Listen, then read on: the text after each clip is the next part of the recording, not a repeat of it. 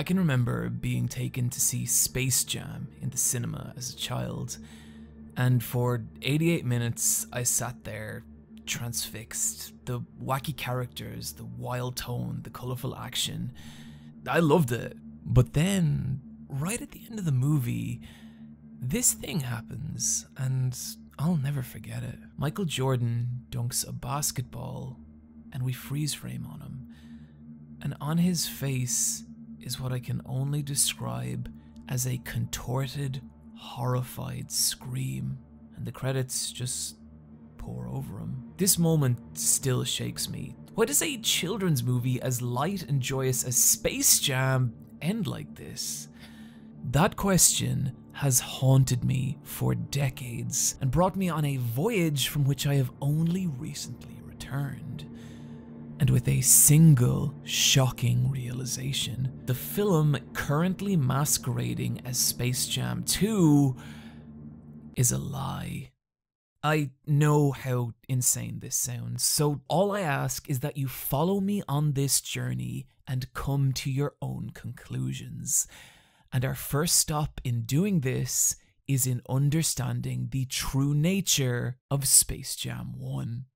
See, Space Jam is not a story about Bugs Bunny or basketball or that sexuality is confusing and complicated. It's about what happens when our wildest dreams come to be and leave us trapped in a nightmare. And the reason this is all surfacing now and you're finally seeing people begin to plumb the infinite depths of this movie is that the key to Space Jam is its star, Michael Jordan. But the key to Michael Jordan only came to light last year in the form of the 2020 documentary series the Last Dance. As a child who grew up in 90s Ireland, I knew only two things about basketball that got Will Smith in trouble in The Fresh Prince of Bel Air, and that Michael Jordan was a big fucking deal. The kind of once in a generation super athlete that completely transcends their sport. And what The Last Dance is, is that story. How this kid from Brooklyn soared to such a meteoric level, he dragged the entire sport of basketball with him. And it's a beautifully told story, taking us all the way from Jordan's early life, where he would compete with his brothers for the approval of their father, to his college years, where his skill would grow exponentially week to week as he absorbed every play, every technique, quickly surpassing everyone around him. That drive taking him to the 1988 Chicago Bulls. Jordan becoming the beating heart of that team, an offensive monster who could cut through entire teams. He became so dangerous and feared on the court that opposing teams would develop their own Jordan rules, like the Detroit Pistons, who would single out Jordan and brutally assault him the entire game, only for Jordan to spend an entire year rebuilding his body allowing him to physically dominate other players, returning the next year and humiliating the Pistons with a 4 0 sweep. This was a huge part of what Michael Jordan was. He didn't just want to beat you, he wanted to crush you. All it would take is a reporter so much as breathe another player's name in the same sentence as Jordan, and Jordan would lock onto that player the next game, finding them and eviscerating them in front of 20,000 thousand screaming fans. And this happened over and over and over. You can see the despair in the faces of these legends of the NBA who, one by one, are all dismantled at the feet of Jordan, shattering record after record and taking the Bulls to an unfathomable six NBA championship victories, all driven by his insatiable drive to be the best. And it wasn't just confined to basketball, Jordan would constantly challenge everyone around him rounds of golf, hands of poker, games of coin toss. Whether it was $10 or 10,000, it didn't matter to the point that people actually thought Jordan had a gambling problem, to which he responded, I don't have a gambling problem, I have a competition problem. It was that drive that took Jordan to the apex of the world. Seeing press footage of Jordan during the mid 90s is like watching some bizarre caricature of what a celebrity is, as he's swamped and mobbed by hundreds of people from the moment he steps outside. But it's in those appearances you can start to see a kind of numbness set in, a kind of space opening up between him and other people, only widened by his insatiable drive to be the best. He was known for being extremely hard on his teammates. He'd scream at them in anger. He could be cruel and tyrannical, demanding from them as much as he did himself, and growing furious when other people could not meet that standard. By late in his career, he'd become a deity of basketball, but the price he'd paid was his ability to meaningfully connect to other people. And I think this really genuinely got to Jordan. Watch what happens when the crew of The Last Dance ask him about this. If you don't want to play that way, don't play that way. Break. Jordan was an icon, but an icon alone. A man who gave everything to breach the clouds of humanity and glimpse the face of God. Space Jam released in 1996 and combined two of the biggest pop culture phenomenon of that era, the Looney Tunes and Michael Jordan. And immediately, look at the kind of movie being made here a rare hybrid of live action footage and hand drawn animation, the likes of which only a handful of other films exist. And that's because these movies are a fucking nightmare to make, combining the most technically difficult aspects of both mediums, with the kind of shot you're seeing on screen now being a genuinely mind blowing feat of artistry and skill. The fact that this was done on mid 90s technology really melts my brain. And what I'm getting at is that even at the core of its DNA, Space Jam is an impossible goal pursued by the best in their field. The exact kind of production that would appeal to a man like Michael Jordan. And you can feel those themes directly in the story, not only in how it conveys Jordan's insatiable drive for power planted in him by his father. Hey, get good enough, you can do anything you want to, Michael. But also in that Space Jam takes place during the real life period of Jordan's career, where he grew so disillusioned with basketball, feeling there were no new horizons left to conquer, that he quit the NBA and began a career in baseball. I just feel at this particular time that I reached the uh, pinnacle of my basketball career and I must retire. In other words, this was Jordan at his most hungry, his most desperate to feel challenged again. And what the medium of animation allows is for Jordan to get his wish, ripping him from the world of the possible as he transcends to something more the fictional plane of the Looney Tunes, where he now faces things beyond human, massive unknowable beings in the Monstars, led by the tyrannical Mr. Swackhammer. And just look at the sense of danger and power conveyed through their transformation sequence. It's that feeling that makes the Monstars such a vital part of this story, as they force Jordan to face something he never could in reality beings more powerful than he is, who are able to make Jordan, this master of the art, feel as weak and insignificant as the very basketballs he's abused his entire life. Defeated and destroyed, it's only with the Looney Tunes Jordan finds hope, and particularly in his strangely intimate relationship with Bugs Bunny, the two growing so close that even Daffy Duck, the Looney Tunes number two character, is left in the shadows. And so, Jordan stands with his new friends, once again on the precipice of the impossible.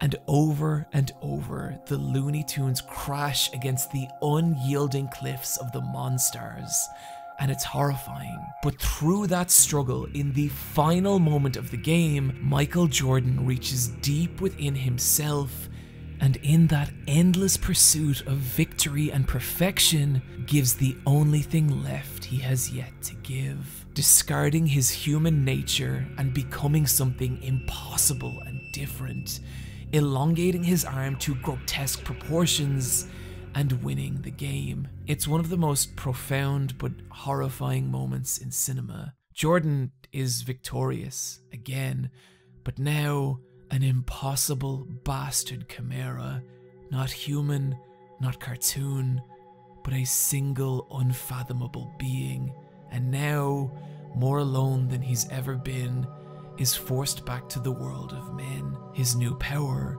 never to be tested, his world empty of all horizons. Because when our wildest dreams become reality, when every mountain is climbed and each dragon slain, what is waiting for us beyond that final horizon? This is the question Space Jam asks, and its whispered answer in this final moment is nothing. It is upon this horrifying revelation Jordan screams. This is where I originally wanted this video to end, but as I discover, it's only here where our story begins. I couldn't unsee what I'd seen in Space Jam, but that left me with a problem.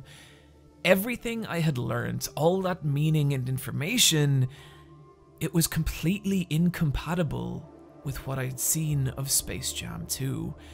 How was this no longer a story of Michael Jordan? Where was the concepts of loneliness, power, and isolation? It just it made no sense. But what really ignited my curiosity was this quote from Joe Pytka, director of Space Jam 1, who had refused to return for the second movie, in which he said, It's ridiculous to try and make a different movie out of it. And just Notice the oddly specific wording here. He uses the word different, but not another. It was just a hunch, but something felt strange, and so I started to look into Joe Pytka, and what I found just didn't make sense. This is the man who's directed the single most successful and profitable basketball movie in history, and yet, not only is his name missing from the end credits of Space Jam 1, but checking his IMDb reveals that he's never worked on a single other movie either before or after Space Jam. And something about all this was starting to feel really not right. I took to Twitter curious to see if anyone else thought that there was anything strange going on with Space Jam 2. Responses poured in, but one that stood out to me came from an account called Miracle Jan Doe, and it said, If you're not serious, walk away like all the other cowards. Now, I get a, we'll say, decent number of crazies on Twitter, but upon investigating this person's profile, something about it just felt oddly familiar, and so, against my better judgment, I DM'd him, asking for clarification as to what he meant. And when checking my messages the next day, I got a response. I'm talking about Space Jam 2 the real Space Jam 2. I asked him to elaborate, only for the account to fall silent. I'd hit a dead end, but I just couldn't let this go. And so I began to pore over old Space Jam footage, including the old VHS tape my parents had given me for my birthday, to see if there were any differences between it and the modern cuts of Space Jam, and I was disappointed to learn there weren't that's when I discovered something. Right at the end of the VHS, there's this little making of section going over how the different aspects of the film production worked, and as it ended, I sat back re examining my notes, looking for something, anything. But after a couple of minutes, text just appeared on screen that read, Sequel, and this footage played he just kept sending us newer and newer drafts of the script, and each time it got less and less feasible. He had all these strange notes about it being the world's first fourth dimensional movie.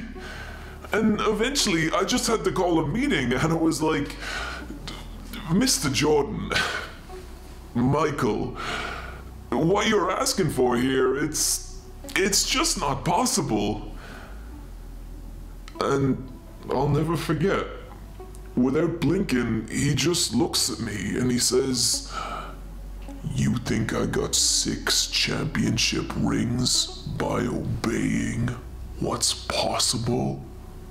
And something about it just just turned my blood to ice. What did he mean by obey? This interview was scrubbed from all future releases of Space Jam, and its implications were massive. And so I poured back over Space Jam, all the articles, all the research, and what everything kept coming back to was Joe Pytka. Who was this mysterious man who disappeared from the film industry? And that's when it all clicked. Watch what happens when we use advanced imaging software to remove the items obscuring Pytka's face.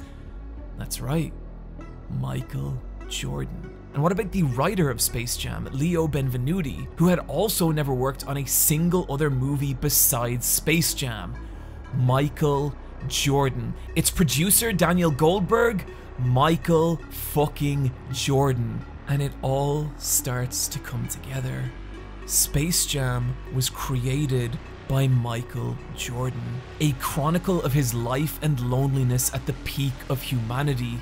And the reason people think it's a kids' movie is because it was only the first part of a bigger story. But something in that true sequel scared Warner Brothers so badly they felt a need to cover it up creating an alternate second movie that had nothing to do with the original, effectively sealing away the existence of the real Space Jam 2 forever. And this is when I got my final message from Miracle Jan Doe, and its contents horrified me. Friday, 4:30, and my home address. And how? How could anyone know where I live? Who was this person? Unless. Oh god. Oh my god, no! It can't be! No! okay. Uh, I. I, I just heard a knock from my front door. It's exactly 4:30 and I um I don't know what's happening. I'm I'm kind of afraid. okay. Here we go.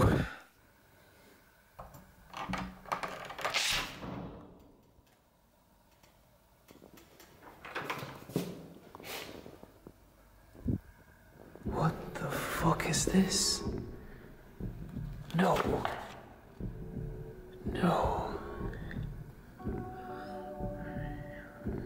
I held in my hands the full script and production notes for a film called Space Jam 2, and there were full illustrated storyboards for the entire movie. Parts of it didn't make sense at first, and I knew my final terrible responsibility to this video. I must unleash this story upon the world. And so now I present to you in full Space Jam 2 Battle for Reality. We fade in from darkness. We see a hand grasping a basketball, gliding towards a glowing hoop beckoning in the distance. Camera flashes fill a gigantic arena as the dull roar of the crowd rises. The Bulls lose! The Bulls lose! Jordan fails to secure his seventh championship ring! Michael Jordan hits the ground, devastated, and he stands, defeated. When suddenly, from off camera, a voice. Um, Mr. Jordan, uh, is it okay if I get your autograph? Jordan smiles. Sure, kid. What's your name? Um, LeBron James, sir. Uh, Mr. Jordan, uh, you're still my hero. Even if you're not the best anymore, you're not the best anymore, you're not the best anymore. You're not the best anymore. Not the best anymore. Jordan awakens, gasping and panicked, when Michael, Michael, it's okay, you're safe, you're here with me. It is Bugs Bunny. I, I know. I, I'm sorry. I just. I, I had that dream again. And the kid, he. Shh, shh, shh. Michael, Michael, that was years ago. You're. You're not that person anymore. You don't always gotta be chasing the next horizon. You're incredible. just the way you are. Across Jordan's face cracks a small, delicate smile. Bugs, I. I know you're a cartoon, but sometimes it's like you're the only thing keeping me human. And they kiss.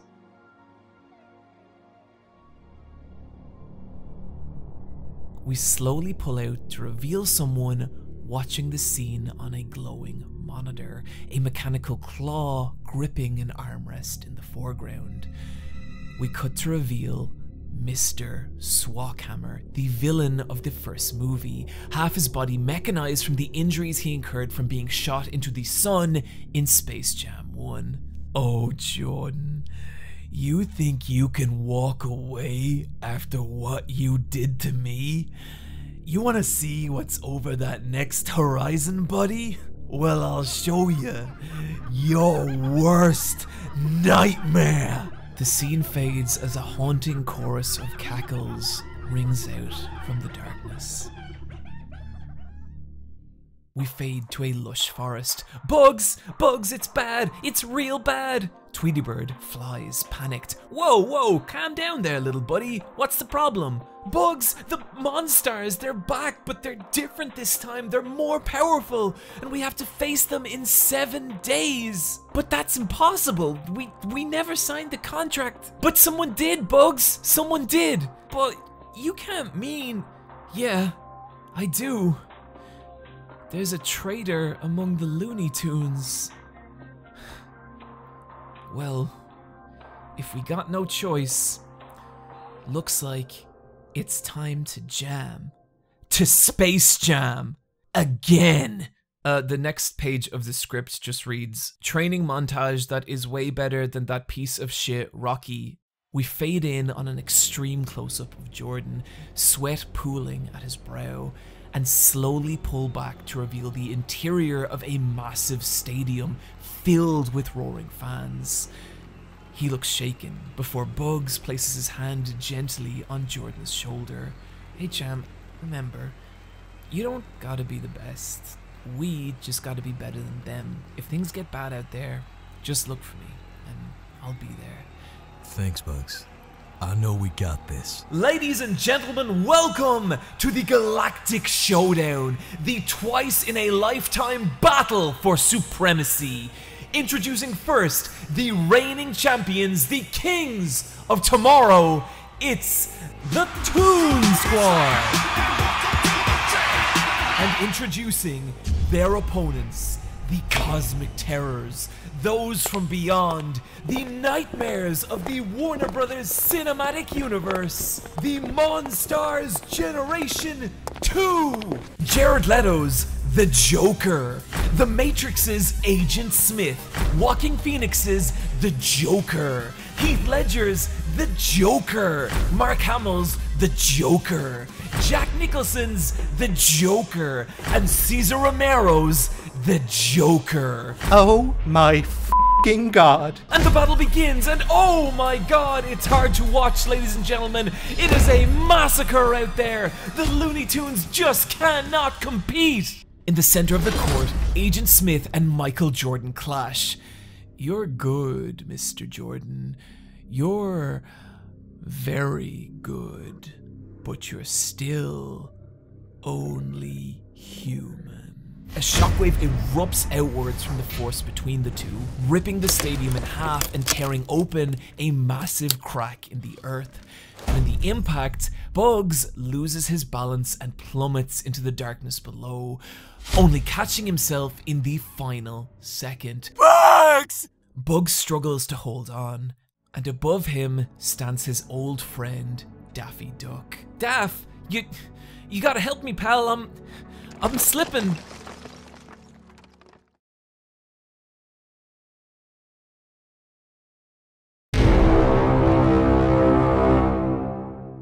You want to know who signed the contract, Bugs? Maybe it's the same person who for years has rotted as your punchline! Can you even comprehend the humiliation I've endured? The amount of buckshots I've taken to the face for you? And for what? To be number three next to you and your little boyfriend?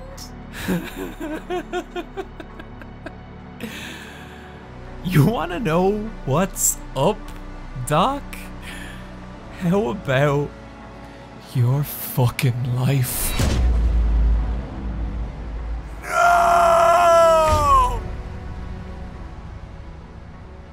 And in that moment, Michael Jordan just lets go.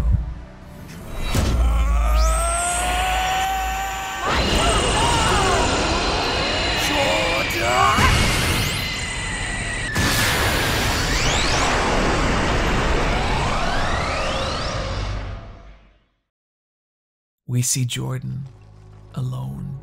Both the stadium and the city that surrounded him just moments ago, now ash and rubble. Having lost the one person who could make him feel like enough, a deep emptiness rips open inside him. Into that emptiness floods all the power, ambition, and rage. If he must truly be left with nothing, he will reign over everything. Okay, we need to take a second and pause here because this next part of the movie gets a little wild, as this is where the fourth dimensional aspect of Space Jam 2 begins. And the way Michael Jordan wanted this to play out was say Space Jam 2 played in a cinema and in the other screens, there was being played a Lord of the Rings movie, a Batman movie, and a Scooby Doo movie. At this point, the real life Michael Jordan planned to have alternate edits of those films played where he would invade their realities and attack their characters, defeating them and proving himself the most dominant being in the universe. There's even blueprints in the script for a special trapdoor Michael had designed that he would hide in during select screenings of Space Jam 2 and at this point in the movie would leap out and attack audiences with basketballs. That is the kind of terror he wanted this moment to elicit. He wanted reality itself to feel under threat from his unstoppable power. Jordan, now the most dominant force in the entire universe. Or is he? A basketball cranes into Jordan's face, its force hurling him to the ground and he turns towards a figure silhouetted against a glorious light. You. That's right, motherfucker. And LeBron James steps forth. I've waited a long time for this boy. Michael, you are my hero. And the impossible battle begins. A showdown beyond both reality and reason. And the earth quivers. But as the fight drags on, LeBron is just a little faster, an iota stronger, a fraction more skilled. And Jordan realizes with horror that for the first time in his life, he is facing an opponent he cannot overcome, and he slams into the cold earth.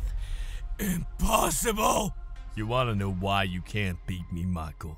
It's because the only thing driving you forward is your selfish desire to see what's over that next horizon. Well, I'll tell you, Michael. Just another goddamn horizon! But me, I'm fighting for something greater than myself. For each life on this planet and every other, every being that will blink out of existence if I let you take even one more step forward. They are all here with me now, Michael, meaning there's an infinity inside me. Compared to that, your empty ambition is nothing. Jordan's vision swims, his consciousness fading. But just as oblivion begins to take hold, he sees a great light fill the sky, and the gates of heaven open, and from them, Bugs Bunny emerges. Bugs. I can't beat him. It's okay, Michael. It's okay. You can rest now. It's over. It's finally over. Bugs. I know you're a cartoon, but sometimes it's like you're the only thing keeping me human.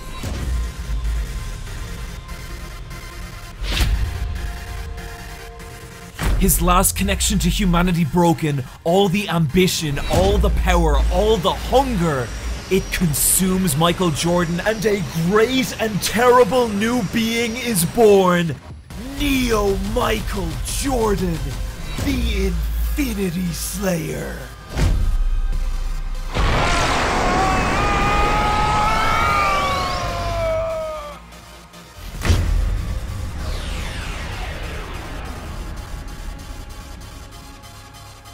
His final foe obliterated, Neo Michael Jordan turns his sights to the stars, and the cosmos themselves weep under the infinite onslaught of the Infinity Slayer, until there is simply nothing left. Jordan floats above all, king of an empty universe, for the first time, his vantage truly barren of all horizons. The production notes here indicate that this shot was meant to last 400 years in real time until that proved unfeasible in the animatic process. Days, months, years, decades, centuries. Time, space, purpose, it all becomes nothing. He is supreme. He is alone. Until Oh, I've waited. Oh, how I've waited. But now, now you're finally here. Goku. to be continued in Space Jam 3 War of the Infinity Beasts. Friends, thank you for joining me today. Straight away, I just want to thank Rebecca Reynolds for the inhuman amount of work she put into this video. You can show your appreciation by checking out her Twitter at Brobexx. Also, huge thank you to Kiri Kai for playing the parts of Michael Jordan and LeBron James. Huge shout out, of course, to my patrons who make this and everything else I do possible. This video in particular, I'd like to thank Grant Van Tassel, Winks, E. Augusta Wickman, Carly Bay Jepsen, ContraPoints, Hannah Knott. Find me as ever on the Let's Fight a Boss video game podcast and on Twitter at EyePatchWolf. Friends, take care of yourselves, and I'll see you next time.